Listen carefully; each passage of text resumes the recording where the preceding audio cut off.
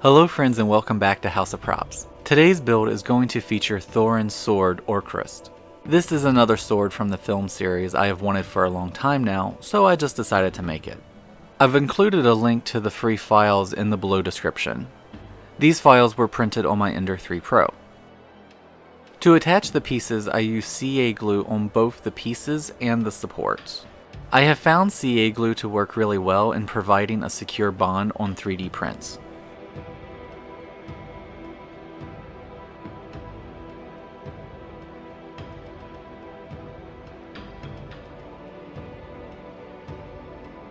In order to cure the glue almost instantly, I use a drop of zip kicker.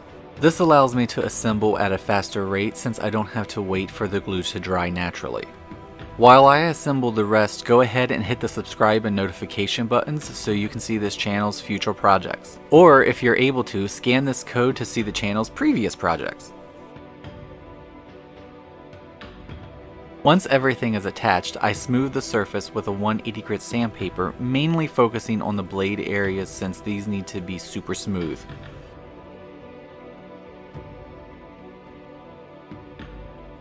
I thought I filmed the next step, but I can't find the footage.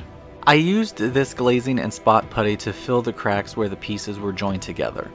I applied it with a putty knife and allowed it to thoroughly dry, which took about 2 hours. This putty is toxic, so follow the company's recommended safety directions. When the putty was dry, I used a 400 grit sandpaper to smooth the joints.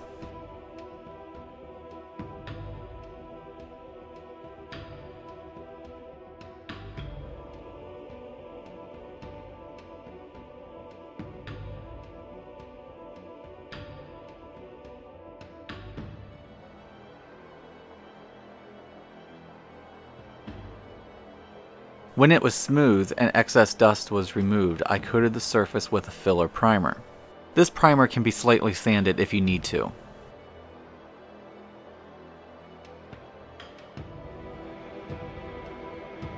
When the primer was dry, I then sprayed the sword with a black gloss spray paint. The black will help accentuate the chrome paint. Now that the black is dry, I'm going to use this mirror chrome spray on the blade, pommel, and handguard.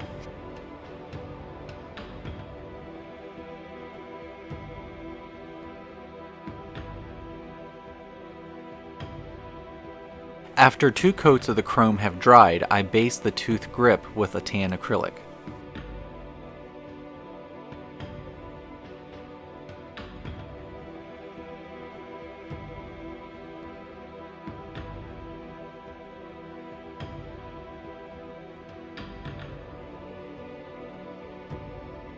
Then using a small round brush and burnt umber, I apply aging into the spots where the tooth meets the metal.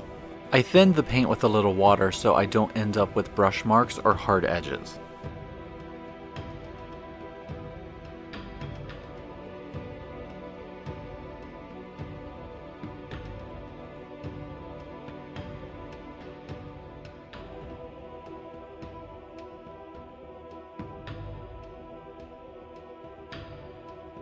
I then used the same paint and brush to create the lines along the length of the tooth.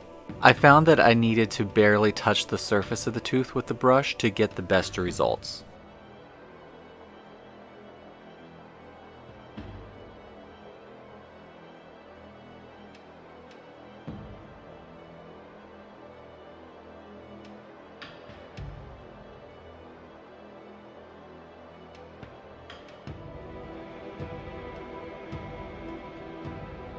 After the aging end lines dried, I made a very thin wash with the burnt umber and applied this over the entire tooth. Using a tissue, I would dab away a lot of the paint, but by repeating the process, I was able to build up layers of the wash that helped age the tooth.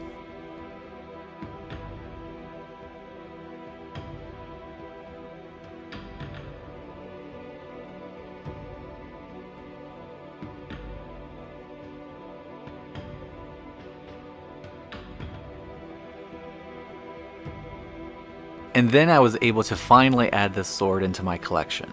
If you enjoyed this video, be sure to give it a thumbs up, share it with friends and family, and subscribe to Haas of Props for more amazing content. And remember, if you are building any of my builds or using any of my templates, feel free and tag me at Haas of Props on Instagram, Twitter, and TikTok because I would really like to see your fantastic work. Thank you for watching, and I'll see you next time.